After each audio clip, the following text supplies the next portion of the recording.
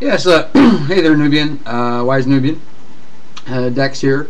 Uh, I know you sent me a bunch of videos. I've been going through them, trying to figure out uh, how I can respond and so forth.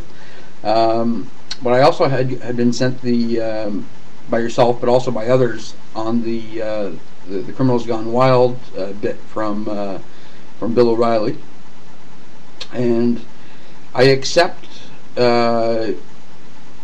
what you're saying about the embedded journalists in Iraq. I think uh, holds some water. There was certainly uh, seemed to be some sort of you know made for for the cameras um, sort of thing, um, where you know journalists encouraged um, you know the guys to blow shit up and blow it up really good and uh, and to show the invasions and, and, and so forth.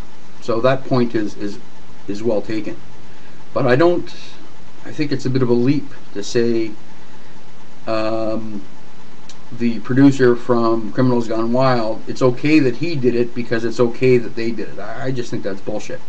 That's a bit of a cop out. Um, they're both wrong. You know, to if you're facilitating crime, I mean, for, to, my, to my way of thinking, when I just saw the clips of from the Criminals Gone Wild, it looks terribly scripted, terribly, terribly faked. Uh, uh, I've lived in the inner city for uh, uh, not now, but uh, over the last, say, 20 years or so. Um, I've had some run-ins uh, in the inner city, and uh, I don't know. it just came across like I don't know. It's not real.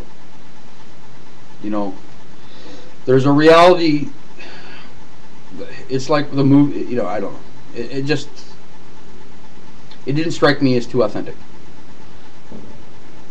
Um, but that's you know, so I, I don't know. I think there's a certain market for that. I, you know, you know how it goes. The the kids in the suburbs, the white kids in the suburbs, um, do most of the buying. You know, I mean, all the the gangsta look uh, that was really popular, you know, for a little while with the oversized jeans and and uh, and so forth. That was being mass produced and sold you know, at the Gap and, and uh, Abercrombie and Fitch and all that sort of shit. You know.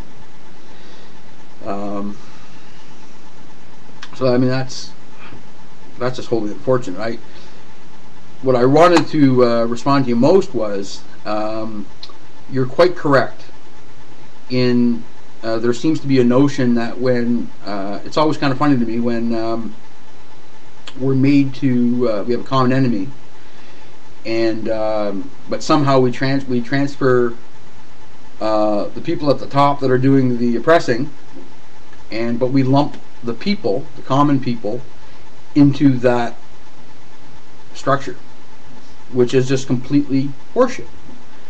Um,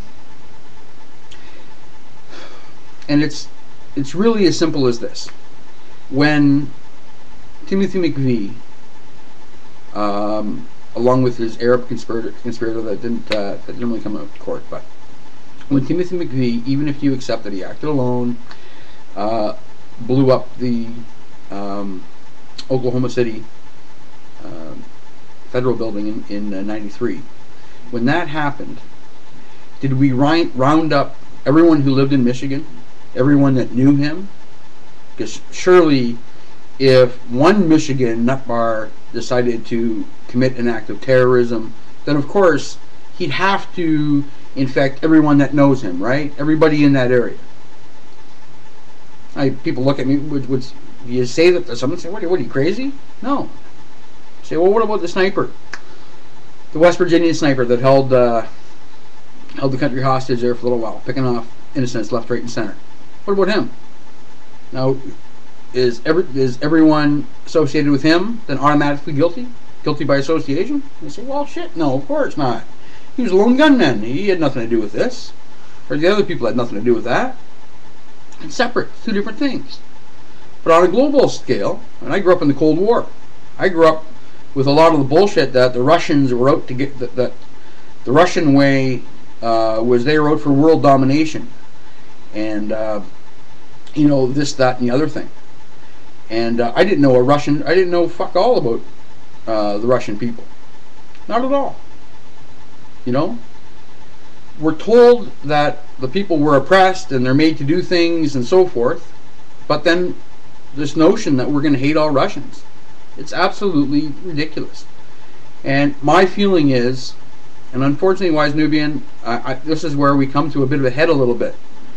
Because I sent you that Bulworth uh, clip. Um, if you haven't seen the movie, I, I mean, I do rec- I totally recommend it. It's a, it's a wonderful social uh, commentary. Um, and i am paraphrasing the line from that movie that you know black people and or poor people and white people, black people, you know, white have more in common than rich people. And that's the bottom line, man. They do not give a shit about me.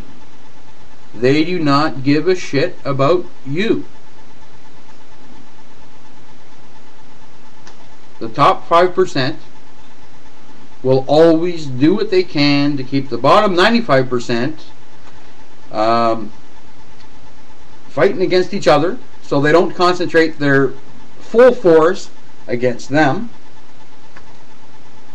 Number one. And number two, they because they own the media and the advertisers and they decide how things get spinned and shaped and so forth. The problem is is that even though people at the end of their life, when they're dying, when they're right near the end and they're dying, they'll say they all. The truth is, nobody sits around on their deathbed and talks about their Cadillac or their SUV or how many rooms they have in their house or how much money they made. They don't talk about that. They talk about their family and their legacy of love and how they'll be remembered. That, that, that is the important thing. And we know deep down that is the important thing. How we treat our, our fellow man. Am I my brother's keeper? I don't believe in organized religion. I, the, Islam, the Islam faith in its purest form, I think, is fine, as is the Christian faith.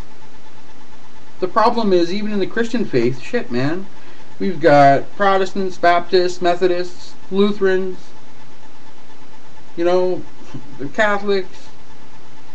You know, I grew up in a town of 10,000 people. There were fucking nine churches there, each with their own little sect. All Christian. All Christian.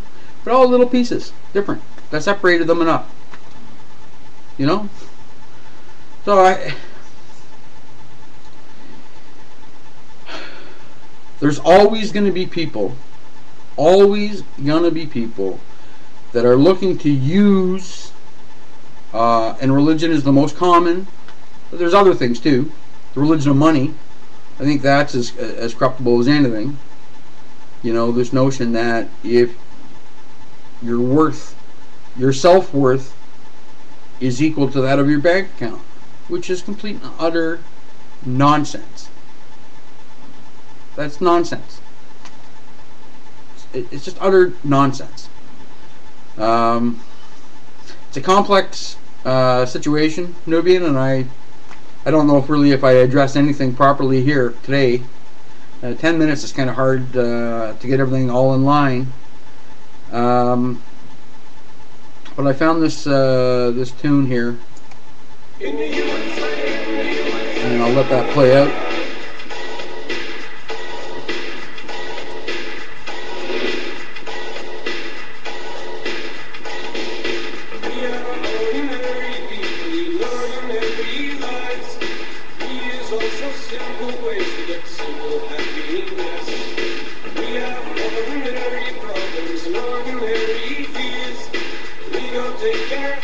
Peace.